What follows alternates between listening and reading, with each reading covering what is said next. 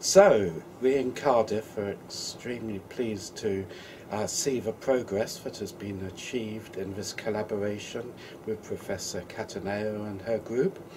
in which we've teamed up to bring together the expertise of her team in developing striatal cells for transplantation, and our team, who have a long-standing interest in animal models of Huntington's disease and their repair using cell transplants.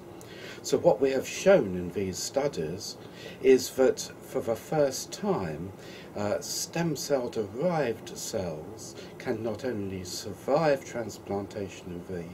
brain of Huntington's mice, they can uh, develop well, they can integrate, and indeed they can restore some of the movement deficits that we see in the mice. So this is the first step in a long path to what we hope will be exciting new developments in developing stem cells for treatment of devastating human diseases.